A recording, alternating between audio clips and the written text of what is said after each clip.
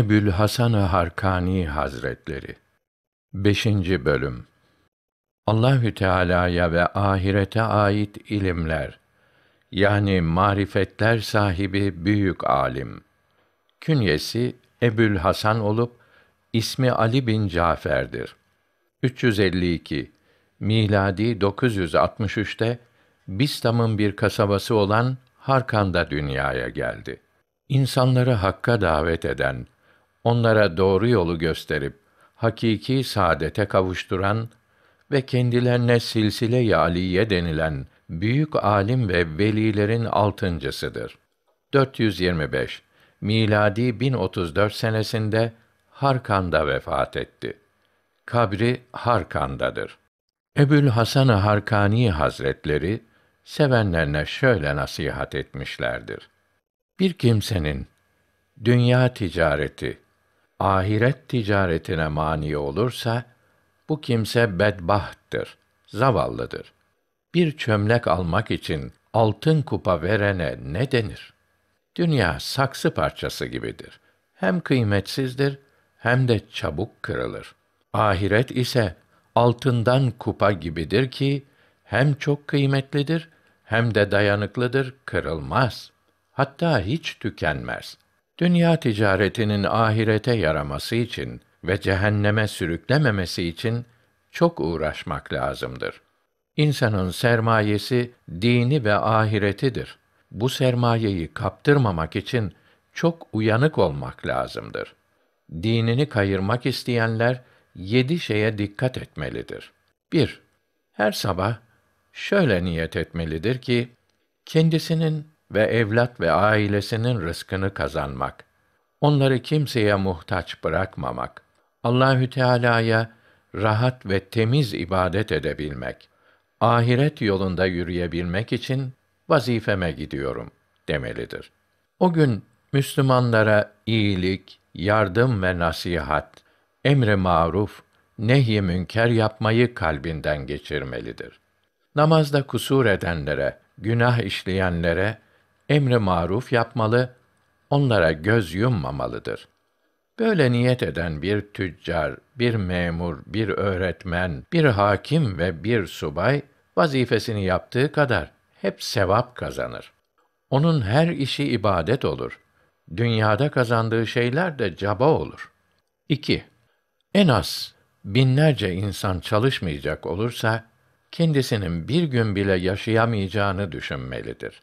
Mesela çiftçi, fırıncı, dokumacı, demirci, iplikçi ve daha nice sanatkarlar hep onun için çalışıyor. O hepsine muhtaçtır. Herkes onun için çalışıp ona hazırlayıp da onun boş oturması, kimseye faydalı olmaması doğru olur mu? Bu dünyada herkes yolcudur. Geldik, gidiyoruz. Yolcuların birbirlerine yardım etmesi, el ele vermeleri, kardeş gibi olmaları lazımdır. Her Müslüman böyle düşünmelidir. Vazifesine başlarken Müslüman kardeşlerime yardım etmek, onları rahat ettirmek için çalışacağım. Din kardeşlerim benim işimi gördükleri gibi ben de onlara hizmet edeceğim demelidir. Her Müslüman iyi bilsin ki bütün sanatlar farz-ı kifayedir. Bunu düşünerek bir sanata yapışmak, ibadet etmek olur. İster kitaplı kâfirler keşfetsin, ister kitapsız kâfirler bulsun. Her sanatı öğrenmek ve hele harp vasıtalarını en modern, en ileri şekilde yapmaya çalışmak farzdır.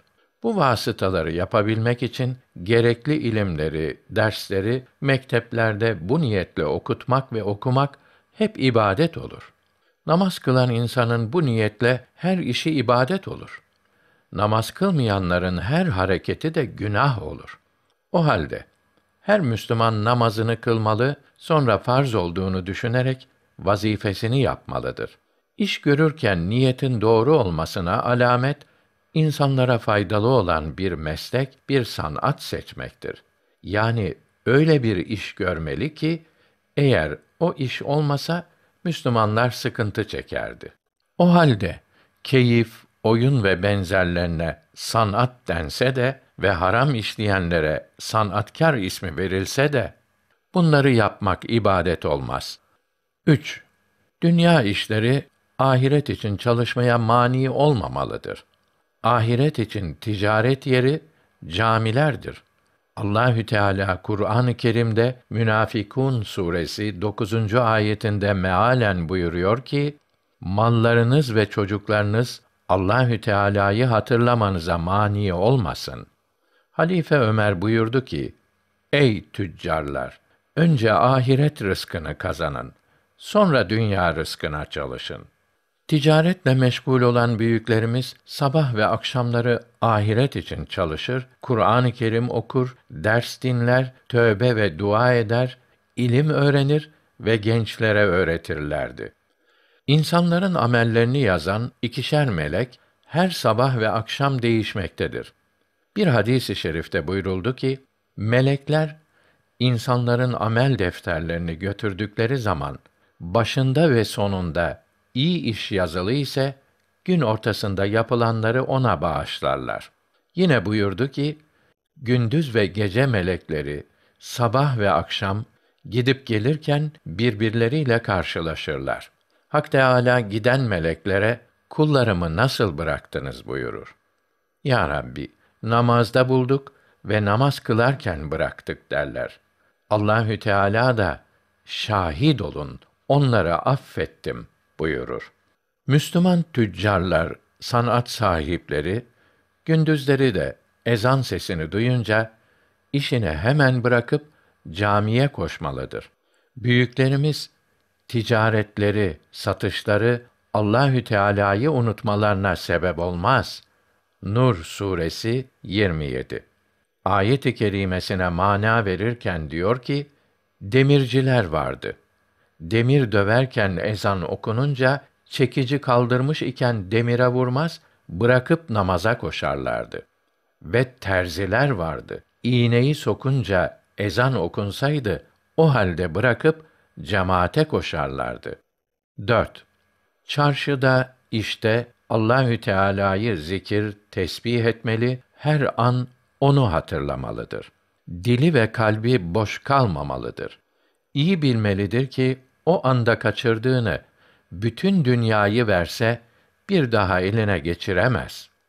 Gafiller arasındaki zikrin sevabı çok olur. Resulullah Efendimiz sallallahu aleyhi ve sellem buyurdu ki: Gafiller arasında Allahü Teala'yı zikreden kimse kurumuş ağaçlar arasında bulunan yeşil fidan gibidir ve ölüler arasındaki canlı gibidir ve harpte kaçanlar arasında arslan gibi dövüşenler gibidir. 5. Dünya işlerine çok düşkün olmamalıdır. Sabah namazı kılmadan ve kitap okuyup birkaç şey öğrenmeden işe gitmemeyi adet edinmelidir. İhtiyacı kadar dünyalık kazanınca ahireti kazanmakla meşgul olmalıdır. Çünkü ahiret hayatı sonsuzdur ve ona ihtiyaç daha çoktur ve ahiret ticaretinde iflas etmek üzeredir. İmam-ı Azam Ebu Hanife Hazretlerinin hocası Hammad ticaret yapardı. Başörtüsü satardı. Her gün iki habbe kazanınca eşyayı toplar, pazardan çıkardı. Büyüklerden bazısı dükkana haftada iki gün giderdi. Bir kısmı da cumadan başka her gün gider, öğle namazında geri dönerdi. Bir kısmı nihayet ikindiye kadar alışveriş ederdi. Hepsi ihtiyacı kadar kazanınca camiye gider, ibadetle, ilim öğrenmekle akşamı yapardı. 6. Şüpheli şeylerden kaçınmalıdır. Harama yaklaşan zaten asi fasık olur. Kalbine sıkıntı getiren şüpheliyi almamalıdır. Zalimlerle, hile, hıyanet edenlerle, yemin ile satanlarla, dükkanında haram şey satanlarla alışveriş etmemelidir. 7. Alışveriş yaptığı kimseyle olan sözlerini, hareketlerini, aldığını, verdiğini iyi ve doğru hesap etmelidir. Kıyamette bunların hepsinden hesap vereceğini bilmelidir. Büyüklerden biri bir bakkalı rüyada görüp Allahü Teala sana ne yaptı dedi. Önüme elli bin sahife koydular. Ya Rabbi, bu sahifeler kimlerindir dedim. elli bin kişiyle alışveriş yapmışsın. Her sahife bunların birisiyle olan muameleni göstermektedir dediler. Baktım. Her sayfede bir kimseyle olan muamelemin inceden inceye yazılmış olduğunu gördüm dedi. Bir kuruş hile yapan, bir kuruş hak yiyen cezasını çekecektir ve hiçbir şeyin yardımı olmayacaktır. Ahiretin dünyadan daha iyi olduğuna inanan kimse bunların hepsini de yapabilir. Bunların hepsini gözetmek yapsa yapsa insanı fakir yapar. Sonsuz saadete, ebedi rahatlığa sebep olacak birkaç senelik fakirliğe elbette katlanılır. Nitekim birçok kimse birkaç şey kazanmak için fırtınalı, karlı havalarda, sıkıntılı yolculuklara, bir rütbeye, dereceye yükselmek için de nice mahrumiyetlere katlanıyor. Halbuki ölüm gelince bütün kazançları elden çıkmakta, boşuna çalışıp didinmiş olmaktadırlar. Bu mübarek zatın pek çok menkıbesi vardır. Bunlardan birini nakledelim. Sultan Mahmud Gaznevi bütün Asya'ya hakim olduğu zamanda Harkan şehrine yakın gelmişti. Adamlarından birkaçını Harkan'a Şeyh Ebul Hasan Harkani Hazretlerinin huzuruna göndermişti. Şeyh Hazretlerini yanına çağırmıştı. Şeyh Hazretleri buna karşılık bir özür beyan ederek gitmek istemediler.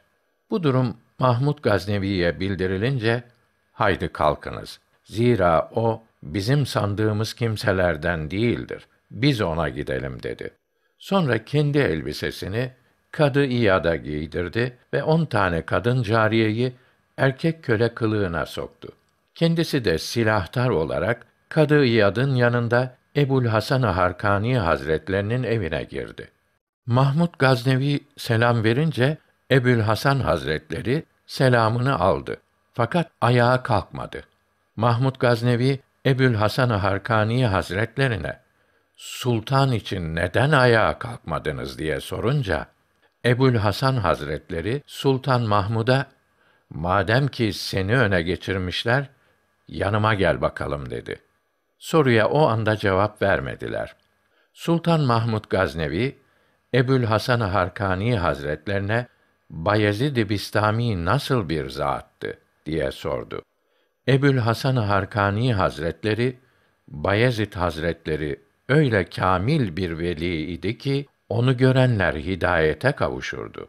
Allahü Teala'nın razı olduğu kimselerden olurdu diye cevap verdi. Sultan Mahmud bu cevabı beğenmedi ve Ebu Cehil, Ebu Leheb gibi kimseler fahri kainatı, server alemi nice kere gördüler. Bunlar hidayete gelmedi de Bayezid'i görenlerin hidayete geldiklerini nasıl söylüyorsun dedi. O Resulullah Efendimizden daha yüksek mi ki iki cihanın efendisini, üstünlerin üstünü olan Allahü Teala'nın sevgili peygamberini gören küfürden kurtulamadı da Bayezid'i görenlerin hepsi kurtulur diyorsun demek istedi. Ebül Hasan Hazretleri Ebu Cehil ve Ebu Leheb gibi ahmaklar Allahü Teala'nın sevgili peygamberini insanların en üstünü olan Hazreti Muhammed olarak görmediler. Ebu Talib'in yetimi Abdullah'ın oğlu Muhammed'i gördüler. O gözle baktılar. Eğer Ebu Bekr Sıddık Hazretleri gibi bakarak Resulullah olarak görselerdi, eşkıyalıktan, küfürden kurtulur, onun gibi kemale gelirlerdi buyurdu. Ebu Cehil gibiler dıştan baktı, maddeye saplandı. Fahri alemin aleyhisselam Ebu Talib'e ve pederi Abdullah'a olan bağlantısına baktı. Allahü Teala'nın peygamberi olduğuna bakmadı. Allahü Teala bu inceliği bildirmek için Araf suresi 197. ayeti kerimede mealen onların sana baktıklarını görürsün. Onlar seni anlamıyorlar, üstünlüğünü görmüyorlar buyurdu. Sultan Mahmud Han bu cevabı çok beğendi. Din büyüklerine olan sevgisi arttı. Sonra Ebul Hasan Harkani Hazretlerinden kendisine nasihat etmesini istedi. Ebul Hasan Harkani Hazretleri Şu dört şeye dikkat et. Günahlardan sakın. Namazını cemaatle kıl.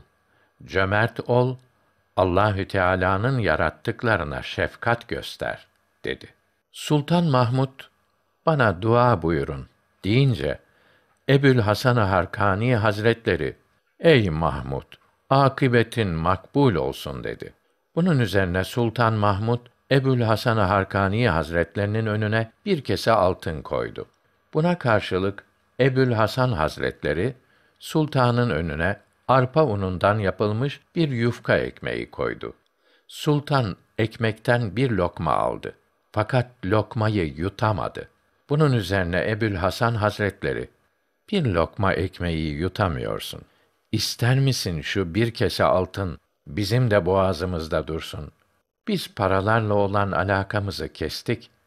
Şu altınları önümden alınız, dedi.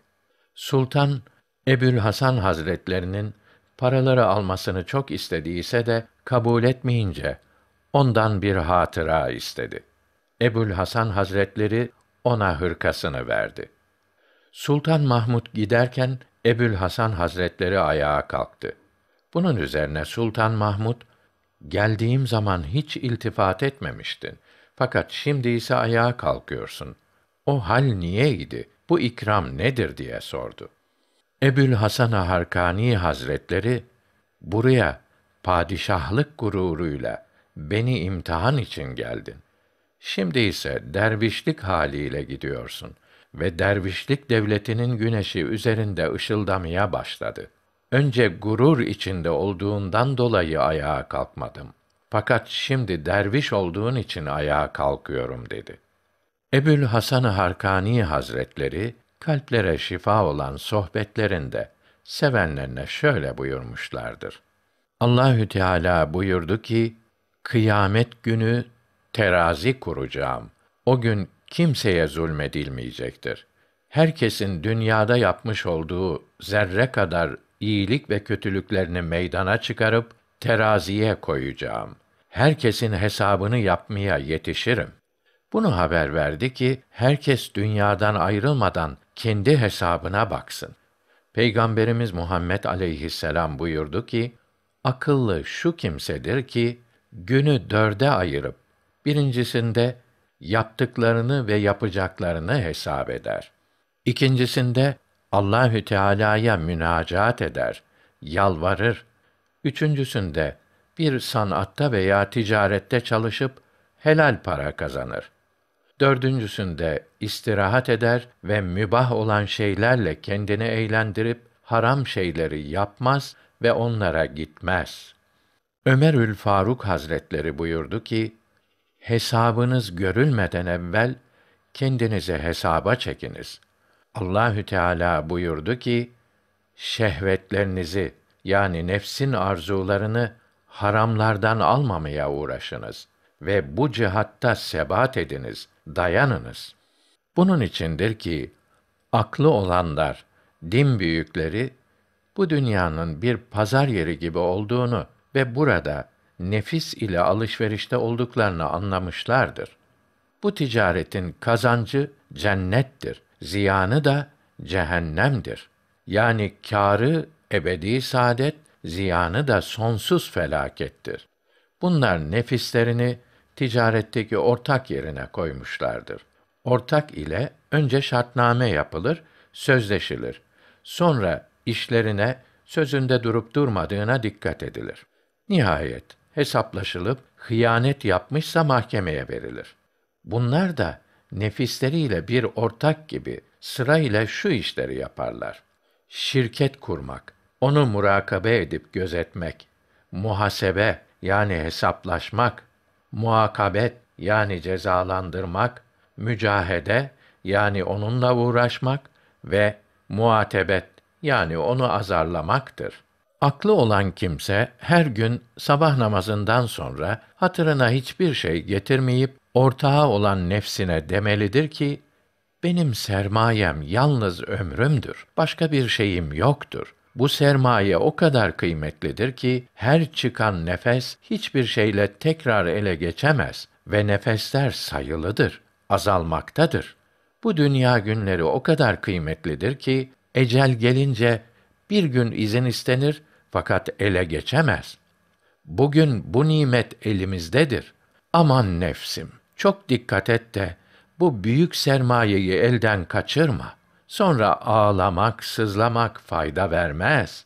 Bugün ecelin geldiğini, daha bir gün müsaade etmeleri için yalvardığını, sızladığını ve sana bir gün bağışladıklarını ve şimdi o günde bulunduğunu farz et. O halde bugünü elden kaçırmaktan, bununla saadete kavuşamamaktan daha büyük ziyan olur mu? Yarın ölecekmiş gibi dilini, gözlerini ve yedi azanı haramdan koru. Biliniz ki dünya din ve ahiret yolunun konaklarından bir menzil. Yolcuları Allahü Teala'ya götüren bir yol ve yolcuların azıklarını almaları için kurulmuş açık bir pazardır. Dünya ve ahiret iki halden ibarettir. Ölümden önce olup ölüme çok yakın olana dünya, ölümden sonra olana ise ahiret denir. Dünyada bulunmaktan maksat ahirete hazırlanmak, azık toplamaktır. İnsana dünyada iki şey lazımdır. Biri kalbi öldüren şeylerden korumak ve kalbin gıdasını temin etmektir. İkincisi bedeni helak edici şeylerden korumak ve gıdasını temin etmektir. Kalbin gıdası marifet, Rabbini tanımak ve muhabbettir. Rabbini sevmektir. Her şeyin gıdası kendine, tabiatına uygun olur. Kalbin helak olmasına sebep Allahü Teala'nın sevgisini bırakıp başka şeylerin sevgisine dalmasıdır. Bedeni kalp için korumak lazımdır. Beden fanidir, geçicidir. Kalp ise ölmez, kalıcıdır. Beden kalp için hacıyı hacca götüren binek hayvanı vasıtası gibidir. Hacca gitmek için hacıya binek vasıtası lazım olduğu ve bu vasıtaya ihtiyacı olduğu kadar bakması, ilgilenmesi gerektiği gibi kalbi taşıyan bedenle de gerektiği kadar ilgilenmek, ona bakmak lazımdır. Fakat insan bütün zamanı ona bakmaya ayırırsa yolda binek hayvanının veya vasıtasının bakımıyla oyalanıp kafileden geri kalır ve helak olur. Vefatı Ebul Hasan Harkani Hazretleri vefatları yaklaştığında kabrimi derin kazın, yatacağım yer hocam Bayezid Hazretlerinin mezarından aşağıda bulunsun diye vasiyet etti. Bu vasiyetini yaptığı gecede vefat etti. Toprağa verildiği günün akşamı çok fazla kar yağdı. Ertesi gün başucuna büyük bir beyaz taşın dikildiğini gördüler. Mezarın çevresinde sadece bir arslanın ayak izleri vardı.